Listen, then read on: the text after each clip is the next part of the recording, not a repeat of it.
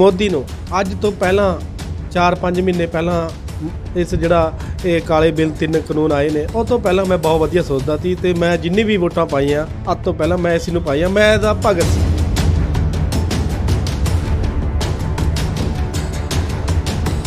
ਕਿਉਂਕਿ ਕਿਸਾਨ ਨਹੀਂ ਤਾਂ ਇਨਸਾਨ ਹੀ ਨਹੀਂ ਹੈ।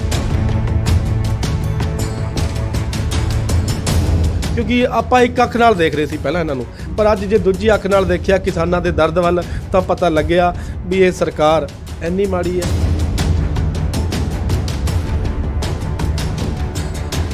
ਅਡਾਨੀ ਤੇ ਅੰਬਾਨੀ ਉਹੀ ਇਹ ਸਰਕਾਰ ਨੂੰ ਚਲਾ ਰਹੇ ਨੇ।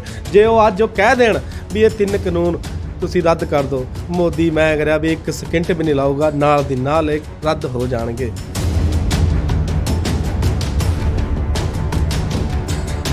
ਕੱਲਾ ਕਿਸਾਨ ਹੀ ਨਹੀਂ, ਭਾਰਤ ਦਾ ਹਰ ਬਸ਼ਿੰਦਾ ਸੜਕਾਂ ਦੇ ਉੱਪਰ ਹੈ। ਪਰ ਇਹਨਾਂ ਜਿਹੜਾ ਰਵਈਆ ਆ, ਉਹ ਕੜਤਨ ਭਰਿਆ ਕਿਉਂ ਲੱਗਦਾ ਆ?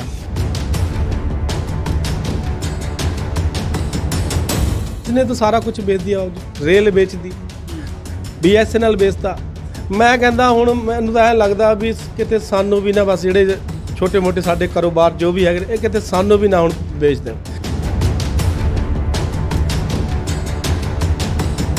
ਹੁਣ ਇਹ ਕਿਸਾਨਾਂ ਨੂੰ ਪ੍ਰਤਾੜਿਤ ਕਰਦੇ ਨੇ।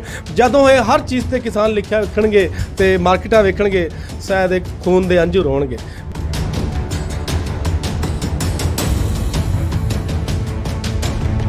ਸਾਰੀਆਂ ਚੀਜ਼ਾਂ, ਸਾਰਿਆਂ ਨੂੰ ਮਨੁੱਖਤਾ ਨੂੰ ਸਭ ਦੀ ਲੋੜ ਹੈ ਵੀ ਐਵੇਂ ਕਰਕੇ ਸਾਰੀ ਸਟੇਟਾਂ ਦੇ ਵਿੱਚ ਹੋ ਆਪਣੀ ਇਹਨਾਂ ਦੀ ਮਾਰਕੀਟ ਹੋ ਹਰ ਸਿਟੀ ਦੇ ਵਿੱਚ ਇਹਦੀ ਮਾਰਕੀਟ ਹੋ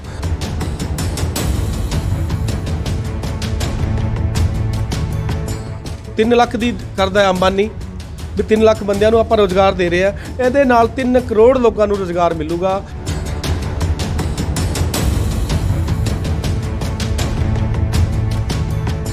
ਇਹ ਜਿਹੜੇ ਪ੍ਰੋਡਕਟ ਬਣਨਗੇ, ਜਿਹੜਾ ਇਹਨਾਂ ਦਾ ਜੀਐਸਟੀ ਉਹ ਫਿਰ ਕੇਂਦਰ ਸਰਕਾਰ ਨੂੰ ਜਾਏਗਾ।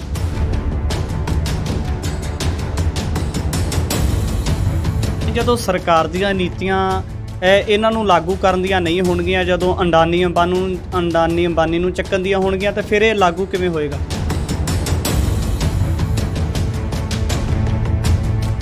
ਇਹ ਜਿਹੜਾ ਤੁਸੀਂ ਫਾਰਮੂਲਾ ਤਿਆਰ ਕੀਤਾ, ਇਹਦੀ ਬਾਬਤ ਕਿਸੇ ਨਾਲ ਗੱਲਬਾਤ ਹੋਈ ਹੋਰ?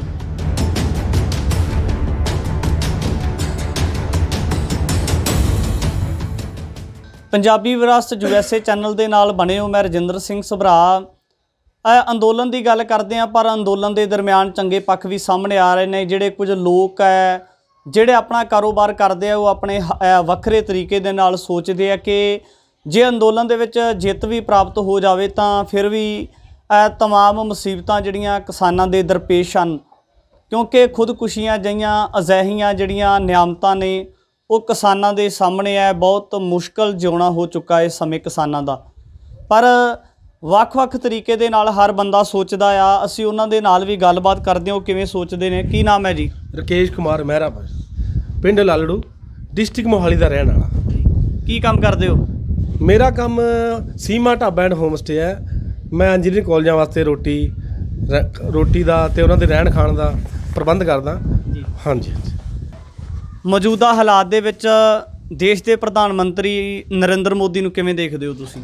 ਵੀ ਮੋਦੀ ਨੂੰ ਅੱਜ ਤੋਂ ਪਹਿਲਾਂ 4-5 ਮਹੀਨੇ ਪਹਿਲਾਂ ਇਸ ਜਿਹੜਾ ਇਹ ਕਾਲੇ ਬਿੱਲ ਤਿੰਨ ਕਾਨੂੰਨ ਆਏ ਨੇ ਉਹ ਤੋਂ ਪਹਿਲਾਂ ਮੈਂ ਬਹੁਤ ਵਧੀਆ ਸੋਚਦਾ ਸੀ ਤੇ ਮੈਂ ਜਿੰਨੀ ਵੀ ਵੋਟਾਂ ਪਾਈਆਂ ਅੱਜ ਤੋਂ ਪਹਿਲਾਂ ਮੈਂ ਇਸ ਨੂੰ ਪਾਈਆਂ ਮੈਂ ਇਹਦਾ ਭਗਤ ਸੀ। ਪਰ ਅੱਜ ਜੇ ਗੱਲ ਕਿਸਾਨ ਤੇ ਆ ਗਈ ਆ ਕਿਉਂਕਿ ਕਿਸਾਨ ਨਹੀਂ ਤਾਂ ਇਨਸਾਨ ਹੀ ਨਹੀਂ ਹੈ। ਪਾਰਟੀਆਂ ਤਾਂ ਬੜੀ ਦੂਰ ਦੀ ਗੱਲ ਹੈ। ਵੀ ਤਾਂ ਕਰਕੇ ਅਸੀਂ ਕਿਸਾਨਾਂ ਨਾਲ ਖੜ ਗਏ ਆ। ਬਾਕੀ ਇਹਨਾਂ ਦੀ ਜਿਹੜੀ ਸੱਚਾਈ ਹੈ ਉਹ ਵੀ ਕੁਝ ਕੁਝ ਸਾਹਮਣੇ ਆ ਗਈ ਹੈ ਵੀ ਇਹ ਕਿਉਂਕਿ ਆਪਾਂ ਇੱਕ ਅੱਖ ਨਾਲ ਦੇਖ ਰਹੇ ਸੀ ਪਹਿਲਾਂ ਇਹਨਾਂ ਨੂੰ। ਪਰ ਅੱਜ ਜੇ ਦੂਜੀ ਅੱਖ ਨਾਲ ਦੇਖਿਆ ਕਿਸਾਨਾਂ ਦੇ ਦਰਦ ਵੱਲ, ਤਾਂ ਪਤਾ ਲੱਗਿਆ ਵੀ ਇਹ ਸਰਕਾਰ ਇੰਨੀ ਮਾੜੀ ਹੈ, ਇੰਨੀ ਅਕੜ ਵਾਲੀ ਹੈ, ਵੀ ਇਹ ਇੰਨੀ ਤਾਨਾਸ਼ਾਹੀ ਹੈ, ਜਿਹੜੀ, ਜਿਹੜੇ ਕਿ ਐਮ ਐਮਪੀਆਂ ਨੂੰ ਬਜਟ ਦੇ ਲਿਆਉਣ ਦੇ ਟਾ- ਵੇਲੇ ਵੀ ਪੰਜ ਜਿਹੜੇ ਐਮਪੀ ਸੀ ਉਹਨਾਂ ਨੂੰ ਅੰਦਰ ਵੀ ਨਹੀਂ ਵੜਨ ਦਿੱਤਾ। ਇੰਨੀ ਤਾਨਾਸ਼ਾਹੀ। ਤੁਸੀਂ ਦੇਖੋ ਜੇ ਇਹ ਉਹਨਾਂ ਨਾਲ ਇੰਨੀ ਤਾਨਾਸ਼ਾਹੀ ਹੋ ਸਕਦੀ ਆ ਤੁਸੀਂ ਆਪ ਸੋਚ ਕੇ ਦੇਖੋ ਤੁਸੀਂ ਤਾਂ ਆਮ ਇਨਸਾਨ ਨੇ। ਤੁਹਾਡੇ ਨਾਲ ਕਿੰਨਾ ਕੁਛ ਇਹ ਕਰ ਸਕਦੀ ਹੈ ਐਨ ਮੌਕੇ ਤੇ। ਤਾਂ ਕਰਕੇ ਵੀ ਇਹ ਸਰਕਾਰ ਤੋਂ ਤੇ ਜਿਹੜਾ ਇਹ ਸਰਕਾਰ ਦੇ ਨਾਲ ਜਿਹੜੇ ਕਾਰੋਬਾਰੀ ਇਹ ਸਰਕਾਰ ਮੋਦੀ ਦੀ ਨਹੀਂ ਇਹ ਕਾਰੋਬਾਰੀਆਂ ਦੀ ਸਰਕਾਰ ਹੈ ਜਿਹਨੂੰ ਆਪਾਂ ਅਡਾਨੀ ਤੇ ਅੰਬਾਨੀ ਉਹੀ ਇਹ ਸਰਕਾਰ ਨੂੰ ਚਲਾ ਰਹੇ ਨੇ। ਜੇ ਉਹ ਅੱਜ ਉਹ ਕਹਿ ਦੇਣ ਵੀ ਇਹ ਤਿੰਨ ਕਾਨੂੰਨ ਤੁਸੀਂ ਰੱਦ ਕਰ ਦਿਓ। ਮੋਦੀ ਮੈਂ ਕਰਿਆ ਵੀ ਇੱਕ ਸਕਿੰਟ ਵੀ ਨਹੀਂ ਲਾਊਗਾ ਨਾਲ ਦੀ ਨਾਲ ਇਹ ਰੱਦ ਹੋ ਜਾਣਗੇ।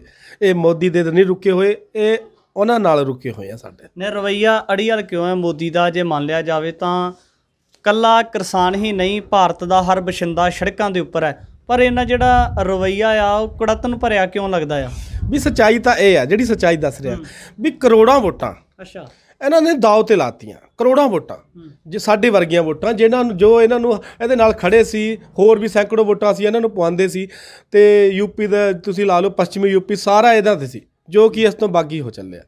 ਵੀ ਕਰੋੜਾਂ ਵੋਟਾਂ ਦਾਅ ਤੇ ਲਾ ਕੇ ਹਜ਼ਾਰਾਂ ਬੰਦਿਆਂ ਨੂੰ ਇਹਨਾਂ ਨੇ ਇਲੈਕਸ਼ਨ ਦੇ ਵਿੱਚ ਕਟਵਾਤਾ।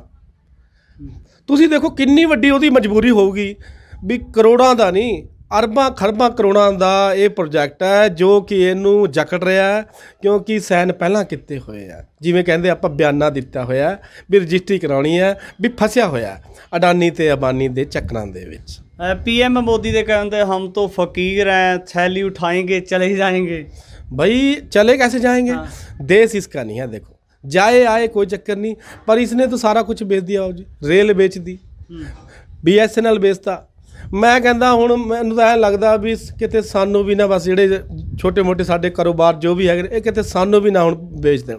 ਕਿਉਂਕਿ ਇਹਦਾ ਕੋਈ ਹੱਕ ਨਹੀਂ ਹੈ। ਕਿਉਂਕਿ ਇਹ ਜਿਹੜੀ ਵਿਰਾਸਤ ਹੈ, ਇਹ ਹਿੰਦੁਸਤਾਨੀਆਂ ਦੀ ਹੈ, ਨਾ ਕਿ ਇਹਦੀ। ਇਹ ਹੁਣ ਵੀ ਕਰੋਨਾ ਕਾਲ ਦੇ ਵਿੱਚ ਤੁਸੀਂ ਕਹਿੰਦੇ ਹੋ ਵੀ 76 ਅਰਬ ਰੁਪਏ ਉਹ ਤੋਂ ਕਟੋਰਾ ਲੈ ਕੇ ਵਰਲਡ ਬੈਂਕ ਤੋਂ ਮੰਗ ਕੇ ਲਿਆਇਆ। ਇਹ ਨਾਲੇ ਆਤਮ ਇਹ ਨਾਰਾ ਦਿੰਦਾ ਵੀ ਅਸੀਂ ਆਤਮ ਨਿਰਭਰ ਹਾਂ। ਜੇ ਆਤਮ ਨਿਰਭਰ ਹਾਂ ਤਾਂ ਕਟੋਰਾ ਲੈ ਕੇ ਕਿਉਂ ਜਾਂਦਾ ਹੈ ਉਹਨਾਂ ਕੋਲੋਂ? ਮੈਨੂੰ ਇਹ ਇਹ ਗੱਲ ਦਾ ਮੈਂ ਮੋਦੀ ਸਰਕਾਰ ਤੇ ਉਹਨਾਂ ਜਿਹੜੇ ਟੀਵੀ ਵੱਡੇ ਵੱਡੇ ਚੈਨਲ ਵਾਲੇ ਨੇ ਉਹਨਾਂ ਤੋਂ ਜ਼ਰੂਰ ਪੁੱਛਾਂਗਾ ਵੀ ਆਤਮ ਜਾਂ ਤਾਂ ਤੁਸੀਂ ਆਤਮ ਨਿਰਭਰ ਨਹੀਂ ਹੋ ਜਾਂ ਫਿਰ ਤੁਸੀਂ ਕਟੋਰੇ ਵਾਲੇ ਹੋ। ਤੁਸੀਂ ਹਰ ਗੱਲ ਦੇ ਵਿੱਚ ਕਟੋਰਾ ਲੈ ਕੇ ਉੱਥੇ ਜਾਂਦੇ ਹੋ। ਇਹ ਇੱਕ ਨਵਾਂ ਫਾਰਮੂਲਾ ਤਿਆਰ ਕਰਕੇ ਲਾਏ ਹੋ। ਇਹ ਫਾਰਮੂਲਾ ਕੀ ਆ? ਇਹ ਫਾਰਮੂਲਾ ਸਪੈਸ਼ਲੀ ਜਿਹੜੀ ਵੀ ਕੋਈ ਵੀ ਵੱਡੀ ਕੰਪਨੀ, ਮੈਂ ਅਡਾਨੀ ਅਬਾਨੀ ਦਾ ਵੀ ਜ਼ਿਕਰ ਕਰਾਂਗਾ, ਇਹਦੇ ਵਿੱਚ ਜਾਂ ਹੋਰ ਵਿਦੇਸ਼ੀ ਕੰਪਨੀਆਂ ਵੀ ਹੈਗੀਆਂ, ਵੀ ਤੁਸੀਂ ਉਹਨਾਂ ਨੂੰ ਅਮੀਰ ਬਣਾਉਂਦੇ ਜਾ ਰਹੇ ਹੋ। ਤੁਸੀਂ, ਜੋ ਕਿ ਭਾਰਤ ਵਾਸੀ ਮੈਂ ਕਹਿ ਰਿਹਾ ਵੀ ਆਪਣੇ ਹੁਣ ਕਿਸਾਨਾਂ ਦੀ ਵਾਰੀ ਹੈ। ਇਹ ਪਹਿਲੀ ਕੰਪਨੀ ਹੋਊਗੀ ਜਿਹੜੀ ਕਿਸਾਨਾਂ ਦੀ ਹੋਊਗੀ ਜਾਂ ਕਿਸਾਨਾਂ ਦੇ ਜਿਹੜੇ ਹਮਾਇਤੀ ਨੇ ਉਹਨਾਂ ਦੀ ਹੋਊਗੀ। ਇਹਦੇ ਵਿੱਚ ਆਪਾਂ ਆਪਣੀ ਕੰਪਨੀ ਖੜੀ ਕਰਕੇ ਆਪਣੇ ਪ੍ਰੋਡਕਟਾਂ ਨੂੰ ਮਾਨਦਾਨ ਦੇ ਕੇ ਕਿਸਾਨੀ ਬ੍ਰਾਂਡ ਸਭ ਤੋਂ ਵੱਡਾ ਬ੍ਰਾਂਡ ਕਿਸਾਨ, ਜੋ ਇਹਨਾਂ ਦੀ ਸਰਦਰਦੀ ਬਣੇਗਾ। ਤੇ ਹੁਣ ਇਹ ਕਿਸਾਨਾਂ ਨੂੰ ਪ੍ਰਤਾੜਿਤ ਕਰਦੇ ਨੇ, ਜਦੋਂ ਇਹ ਹਰ ਚੀਜ਼ ਤੇ ਕਿਸਾਨ ਲਿਖਿਆ ਵੇਖਣਗੇ ਤੇ ਮਾਰਕੀਟਾਂ ਵੇਖਣਗੇ, ਸ਼ਾਇਦ ਇਹ ਖੂਨ ਦੇ ਅੰਜੂ ਹੋਣਗੇ ਵੀ ਇਸ ਕਰਕੇ ਸਾਰੇ ਇਨਵੈਸਟਰਾਂ ਨੂੰ ਮੇਰੀ ਤਹਿ ਦਿਲੋਂ ਗੁਜ਼ਾਰਿਸ਼ ਹੈ, ਬੇਨਤੀ ਹੈ ਜੀ ਆਈਆਂ ਨੂੰ ਵੀ ਆ ਜਾਓ ਬੀਕੇਐਮ ਨੂੰ ਸਥਾਪਿਤ ਕਰੋ। ਇਹਦਾ ਕਿਸ ਤਰ੍ਹਾਂ ਦਾ ਹੋਵੇਗਾ? ਜਿਹੜਾ ਇਹਦਾ ਤੁਸੀਂ ਇੱਕ ਰੈਗੂਲੇਸ਼ਨ ਬਣਾਇਆ ਉਹ ਕਿਵੇਂ ਤਰੀਕੇ ਕਿਹੜਾ ਤਰੀਕਾ ਵਰਤਿਆ ਆ? ਵੀ ਇਹ ਬੀਕੇਐਮ ਭਾਰਤੀਆ ਕਿਸਾਨ ਮਾਰਕੀਟ। ਭਾਰਤੀਆ ਕਿਸਾਨ ਮਾਰਕੀਟ ਦੀ ਗੱਲ ਕਰਾਂ ਤਾਂ ਐਵਰੀ ਸਟੇਟ ਦੇ ਵਿੱਚ ਹੋਊ। ਕਿਉਂਕਿ ਹਰ ਸਟੇਟ ਦੇ ਵਿੱਚ ਕੁਝ ਨਾ ਕੁਝ ਅਲੱਗ ਉਤਪਾਦ ਪਾਏ ਜਾਂਦੇ ਨੇ। ਜਿਵੇਂ ਜੰਮੂ ਕਸ਼ਮੀਰ ਦੇ ਵਿੱਚ ਸੇਬ ਹੈ ਤੇ ਡਰਾਈ ਫਰੂਟ ਨੇ, ਪੰਜਾਬ ਦੇ ਵਿੱਚ ਕਣਕ, ਚੌਲ ਤੇ ਯੂਪੀ ਦੇ ਵਿੱਚ ਗੰਨਾ ਤੇ ਰਾਜਸਥਾਨ ਦੇ ਵਿੱਚ ਮੂੰਗਫਲੀ, ਐ ਕਰਕੇ ਰਾ- ਬਾਜਰਾ। ਵੀ ਇਹੋ ਜਿਹੇ ਸਾਰੀਆਂ ਚੀਜ਼ਾਂ ਸਾਰਿਆਂ ਨੂੰ, ਮਨੁੱਖਤਾ ਨੂੰ ਸਭ ਦੀ ਲੋੜ ਹੈ। ਵੀ ਐਵੇਂ ਕਰਕੇ ਸਾਰੀ ਸਟੇਟਾਂ ਦੇ ਵਿੱਚ ਹੋ ਆਪਣੀ ਇਹਨਾਂ ਦੀ ਮਾਰਕੀਟ ਹੋ ਹਰ ਸਿਟੀ ਦੇ ਵਿੱਚ ਇਹਦੀ ਮਾਰਕੀਟ ਹੋ ਤੇ ਹਰ ਪਿੰਡਾਂ ਦੇ ਵਿੱਚ, ਜਦੋਂ ਹਰ ਪਿੰਡਾਂ ਦੇ ਵਿੱਚ ਆ ਜੂਗੀ ਤਾਂ ਮੈਂ ਇੱਕ ਗੱਲ ਕਲੀਅਰ ਕਹਿ ਦੇਵਾਂ ਵੀ ਇਹਦਾ ਰਿਵੈਨਿਊ ਜਿਹੜਾ ਹੋਊਗਾ, ਉਹ 5 ਲੱਖ ਕਰੋੜ ਦੇ ਨਾਲ ਘੱਟੋ ਘੱਟ, ਕਿਉਂਕਿ ਉਹ 3 ਲੱਖ 3 ਲੱਖ ਦੀ ਕਰਦਾ ਅੰਬਾਨੀ, ਵੀ 3 ਲੱਖ ਬੰਦਿਆਂ ਨੂੰ ਆਪਾਂ ਰੋਜ਼ਗਾਰ ਦੇ ਰਹੇ ਆ ਇਹਦੇ ਨਾਲ 3 ਕਰੋੜ ਲੋਕਾਂ ਨੂੰ ਰੋਜ਼ਗਾਰ ਮਿਲੂਗਾ, ਉਹ ਸਿਰਫ ਔਰ ਸਿਰਫ ਮਜ਼ਦੂਰ ਤੇ ਕਿਸਾਨਾਂ ਨੂੰ ਮਿਲੇਗਾ। ਇਹ ਜਿਹੜੇ ਪ੍ਰੋਡਕਟ ਬਣਨਗੇ ਜਿਹੜਾ ਇਹਨਾਂ ਦਾ ਜੀਐਸਟੀ ਉਹ ਫਿਰ ਕੇਂਦਰ ਸਰਕਾਰ ਨੂੰ ਜਾਏਗਾ ਵੀ ਇਹਦੇ ਨਾਲ ਕਿਸਾਨ ਅਮੀਰ ਨਹੀਂ ਹੋਣਗੇ। ਜਾਂ ਮਜ਼ਦੂਰ ਅਮੀਰ ਨਹੀਂ ਹੋਣਗੇ ਇਹਦੇ ਨਾਲ ਦੇਸ਼ ਦੀ ਸਰਕਾਰ ਪੂਰਾ ਦੇਸ਼ ਕਿਉਂਕਿ ਜੀਐਸਟੀ ਪੂਰਾ ਟੈਕਸ ਰਿਵੈਨਿਊ ਦਾ ਮਤਲਬ ਹੈ ਪੂਰਾ ਟੈਕਸ ਚੋਰੀ ਨਹੀਂ ਜਿਹੜੇ ਇਹ ਚੋਰੀ ਕਰਦੇ ਨੇ ਚਿੱਟੀ ਪਰਚੀਆਂ ਦੇ ਸਮਾਨ ਦਿੰਦੇ ਨੇ ਇਹ ਕੱਲੀ ਕੱਲੀ ਚੀਜ਼ ਵੀ ਰਿਵੈਨਿਊ ਦੇ ਆਰਡਰ ਪੱਕੇ ਬਿੱਲ ਤੇ ਜਾਊਗੀ ਜਿਹਦੇ ਨਾਲ ਸਰਕਾਰ ਦੀ ਜੀਡੀਪੀ ਵੀ ਉੱਪਰ ਜਾਊਗੀ ਤੇ ਕਿਸਾਨਾਂ ਨੂੰ ਵੀ ਘੱਟੋ ਘੱਟ ਜਿਹੜੀ ਇਹ ਗਰੀਬੀ ਦਾ ਦੌਰ ਆਪਾਂ ਜੇਲ ਰਹੇ ਆ ਇਹ ਗਰੀਬੀ ਵੀ ਕੋਸੋਂ ਦੂਰ ਚਲੀ ਜਾਏਗੀ। ਨਹੀਂ ਜਦੋਂ ਸਰਕਾਰ ਦੀਆਂ ਨੀਤੀਆਂ ਇਹ ਇਹਨਾਂ ਨੂੰ ਲਾਗੂ ਕਰਨ ਦੀਆਂ ਨਹੀਂ ਹੋਣਗੀਆਂ ਜਦੋਂ ਅੰਡਾਨੀ ਅੰਬਾਨੀ ਨੂੰ ਅੰਡਾਨੀ ਅੰਬਾਨੀ ਨੂੰ ਚੱਕਣ ਦੀਆਂ ਹੋਣਗੀਆਂ ਤਾਂ ਫਿਰ ਇਹ ਲਾਗੂ ਕਿਵੇਂ ਹੋਏਗਾ? ਦੇਖੋ ਇਹਨੂੰ ਨਹੀਂ ਰੋਕ ਸਕਦੇ। ਹਾਂ। ਕਿਉਂਕਿ ਕੋਈ ਵੀ ਆਪਣਾ ਬਿਜ਼ਨਸ ਕਰਦਾ ਹੁੰਦਾ ਕੋਰਟ ਦੇ ਰਾਹੀਂ ਇਹਦਾ ਪੇਟੀ ਪੇਟੈਂਟ ਹੁੰਦਾ ਜਿਵੇਂ ਆਪਾਂ ਲੋਗੋ ਹੈ ਬੀਕੇਐਮ ਜੀ। ਤੇ ਨਹੀਂ ਵੀ ਕਰਦੇ ਤਾਂ ਜਿਵੇਂ ਪੰਜਾਬ ਦੇ 13200 ਕੁ ਪਿੰਡ ਨੇ ਜਿੰਨੇ ਵੀ ਸ਼ਹਿਰ ਨੇ ਉਸ ਪਿੰਡਾਂ ਨਾਲ ਪਲਦੇ ਨੇ ਭਰਾਵਾ ਪਿੰਡਾਂ ਨਾਲ। ਸ਼ਹਿਰ ਕਦੇ ਪਿੰਡਾਂ ਨੂੰ ਨਹੀਂ ਪਾਲਦੇ ਪਿੰਡ ਹੀ ਸ਼ਹਿਰਾਂ ਨੂੰ ਪਾਲਦੇ ਨੇ ਤੇ ਦੇਸ਼ ਨੂੰ ਪਾਲਦੇ ਨੇ। ਆ ਹੁਣ ਇਹ ਦਿਖਾਤਾ ਅੰਦੋਲਨਾਂ ਦੇ ਵਿੱਚ ਤੁਸੀਂ ਜਾ ਕੇ ਦੇਖ ਲਓ ਮੋਰਚੇ ਦੇ ਵਿੱਚ ਜਿੱਥੇ ਵੀ ਟਰਾਲੀ ਖੜੀ ਹੈ ਟਰਾਲੀ ਦੇ ਵਿੱਚ ਹਰ ਟਰਾਲੀ ਤੇ ਪਿੰਡ ਦਾ ਨਾਮ ਜ਼ਿਲ੍ਹੇ ਦਾ ਨਾਮ ਤੇ ਮਾਝਾ ਦਵਾਬਾ ਲਿਖਿਆ ਪਿਆ। ਕੋਈ ਇਹ ਨਾ ਕਹਿ ਦੇਵੇ ਖਾਲਿਸਤਾਨੀ ਆ ਜਿਹਨੂੰ ਸ਼ੱਕ ਹੈ ਮੇਰਾ ਉਹ ਫਰਦਾ ਵੀ ਨਾਲ ਕੇ ਦਿਖਾ ਦੂੰ ਵੀ ਉਹ ਅਸਲੀ ਜ਼ਿਮੀਦਾਰ ਨੇ ਨਾ ਕਿ ਕੋਈ ਖਾਲਿਸਤਾਨੀ ਨੇ। ਵੀ ਉਹਨਾਂ ਨੂੰ ਇਹ ਕਹਿਣ ਦੀ ਕੋਈ ਲੋੜ ਨਹੀਂ। ਉਹ ਪੱਕੇ ਕਿਸਾਨ ਨੇ ਭਰਾਵਾ, ਅੱਕੇ ਹੋਏ ਨੇ, ਸਰਕਾਰ ਤੋਂ ਅੱਕੇ ਹੋਏ ਨੇ, ਉੱਥੇ ਬੈਠੇ ਨੇ। ਜਿਹੜੇ ਰਾਮਦੇਵ ਦੇ ਪੱਕੇ ਭਗਤ ਆ, ਉਹ ਕਹਿੰਦੇ ਵੀ ਸਾਨੂੰ ਜਿਹੜਾ ਆ, ਉਹ ਰਾਮਦੇਵ ਦੀਆਂ ਜਿਹੜਾ ਉਹਨਾਂ ਦੇ ਪ੍ਰੋਡਕਟ ਆ, ਉਹ ਵਧੀਆ ਬੈਸਟ ਹੈ ਤੇ ਤੁਹਾਨੂੰ ਕੀ ਲੱਗਦਾ ਉਹ ਕਿ ਉਹ ਜਿਹੜੇ ਰਾਮਦੇਵ ਵਾਲੇ ਪ੍ਰੋਡਕਟ ਖਰੀਦਣ ਵਾਲੇ ਲੋਕ ਹੈ ਉਹ ਕਿਸਾਨਾਂ ਦੇ ਪ੍ਰੋਡਕਟ ਖਰੀਦਣਗੇ ਫਿਰ?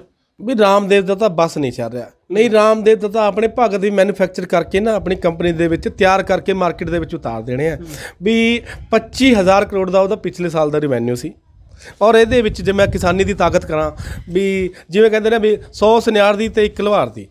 ਸਾਡਾ ਇੱਕ ਸਭ ਤੋਂ ਛੋਟਾ ਪ੍ਰੋਡਕਟ ਹੈ, ਇਹਦੇ ਵਿੱਚ ਵਾਟਰ ਤੇ ਸੋਡਾ। ਜੇ ਸਾਡਾ ਵਾਟਰ ਸੋਡਾ ਸਾਡੇ ਕਿਸਾਨ ਆਗੂ ਆ ਕੇ ਡਕੈਤ ਉਹਦੇ ਐਮਬੈਸਡਰ ਹੋਣਗੇ ਜਿਵੇਂ ਗੁਰਮੀਤ ਸਿੰਘ ਝੁੰਨੀ ਤੇ ਹੋਰ ਵੀ ਜਿਹੜੇ ਕਿਸਾਨ 40 ਜਥੇਬੰਦੀਆਂ ਜੇ ਉਹ ਇਹਦੇ ਕਿਸਾਨ ਵਾਟਰ ਪੂਰੇ ਜੋਰਾ ਸੋਰਾ ਨਾਲ ਲਾਂਚ ਕਰਦੇ ਨੇ ਤਾਂ 25000 ਕਰੋੜ ਤਾਂ ਵੱਧ ਤਾਂ ਕਿਸਾਨਾਂ ਦੀ ਤਾਕਤ ਪਾਣੀ ਪਾਣੀ ਉਹਦੇ ਸਾਰੇ 400 ਪ੍ਰੋਡਕਟਾਂ ਤੇ ਪਾਣੀ ਫੇਰ ਦੇਣਾ। ਉਹ ਵੀ ਗਵਰਨਮੈਂਟ ਨੂੰ ਅਮੀਰ ਕਰਕੇ ਤੇ ਇਹ ਜਿਹੜਾ ਤੁਸੀਂ ਫਾਰਮੂਲਾ ਤਿਆਰ ਕੀਤਾ ਇਹਦੀ ਬਾਬਤ ਕਿਸੇ ਨਾਲ ਗੱਲਬਾਤ ਹੋਈ ਹੋਰ ਮੈਂ ਕਈ ਬੰਦਿਆਂ ਨੂੰ ਕਈ ਲੱਖ ਬੰਦਿਆਂ ਨੂੰ ਮੈਂ ਡਾਇਰੈਕਟ ਵੀਡੀਓ ਪਾਈ ਹੈ। ਮੈਂ ਪਹਿਲਾਂ ਗਿਆ ਸੀ 24 25 26 ਨੂੰ ਮੈਂ ਉੱਥੇ ਹੀ ਸੀ ਸਿੰਘੂ ਬਾਰਡਰ ਤੇ ਸੀ। 26 25 ਤਰੀਕ ਨੂੰ ਜਦੋਂ ਬੱਬੂ ਮਾਨ ਜੀ ਨੇ ਸਪੀਚ ਦਿੱਤੀ ਉਸ ਤੋਂ ਬਾਅਦ ਮੇਰਾ ਹੀ ਨੰਬਰ ਸੀ। ਪਰ 26 ਦਾ ਕਾਫੀ ਹੁਲਾਰਾ ਸੀ ਉੱਥੇ ਨਹੀਂ ਗੱਲ ਬਣੀ। ਪਰ ਉਹਨੇ ਮੇਰੇ ਵੀ ਯੂਕੇ ਦੇ ਲੰਗਰ ਲੱਗਿਆ ਹੋਇਆ ਉਹਨਾਂ ਨੇ ਮੈਨੂੰ ਦੱਸਿਆ ਸੀ ਕਿ ਵੀਰ ਕੋਈ ਐਸਾ ਜਾ ਵੀ ਐਵੇਂ ਗੱਲਬਾਤ ਕਰਨ ਨਾਲ ਨਹੀਂ ਬਣਦੀ। ਕੋਈ ਲਿਖ ਕੇ ਲਿਆ ਪੋਸਟਰ ਲਿਆ ਵੀ ਉਹਨਾਂ ਦੇ ਕਹੇ ਅਨੁਸਾਰ ਮੈਂ ਹੁਣ ਪੋਸਟਰ ਬਣਾਤੇ। ਤੇ ਇਹ ਗੱਲਬਾਤ ਵੀ ਸਮਝ ਆ ਰਹੀ ਹੈ। ਜਿਵੇਂ ਕਿ ਤੁਸੀਂ ਹੁਣ ਮੇਰੇ ਕੋਲ ਆ ਕੇ ਇਹ ਗੱਲ ਨੂੰ ਸਮਝ ਰਹੇ ਹੋ ਤੇ ਦਿਖਾ ਰਹੇ ਹੋ। ਜੀ। ਅਸੀਂ ਨੌਜਵਾਨ ਦੇ ਨਾਲ ਗੱਲਬਾਤ ਕੀਤੀ ਹੈ। ਇਹਨਾਂ ਦਾ ਕਹਿਣਾ ਹੈ ਕਿ ਇਸ ਸਮੇਂ ਜਿਹੜਾ ਹੈ, ਜਿਵੇਂ ਅਸੀਂ ਰਾਮਦੇਵ ਦੇ ਜਾਂ ਅੰਡਾਨੀਆਂ ਬਾਨੀਆਂ ਦੇ ਪ੍ਰੋਜੈਕਟ ਘਰਾਂ ਦੇ ਵਿੱਚ ਵਰਤੋਂ ਦੇ ਵਿੱਚ ਖਰੀਦਦੇ ਆ ਇਸ ਸਮੇਂ ਜ਼ਰੂਰਤ ਹੈ ਕਿ ਕਿਸਾਨਾਂ ਦੇ ਦੁਆਰਾ ਜਿਹੜੇ ਪ੍ਰੋਡਕਟ ਆ ਉਹ ਬਣਾਏ ਜਾਣੇ ਚਾਹੀਦੇ ਆ ਆਮ ਘਰਾਂ ਦੇ ਵਿੱਚ, ਸ਼ਹਿਰਾਂ, ਪਿੰਡਾਂ ਦੇ ਵਿੱਚ ਉਹਨਾਂ ਦੀ ਵਰਤੋਂ ਕੀਤੀ ਜਾਣੀ ਚਾਹੀਦੀ ਹੈ। ਇੱਕ ਨੇਕ ਸੁਝਾਅ ਵੀ ਇਹਨਾਂ ਨੇ ਦਿੱਤਾ ਹੈ ਇਸ ਤਰ੍ਹਾਂ ਦੀਆਂ तमाम ਸ਼ਖਸੀਅਤਾਂ ਨੂੰ ਲੈ ਕੇ ਹਾਜ਼ਰ ਹੋਵਾਂਗੇ ਧੰਨਵਾਦ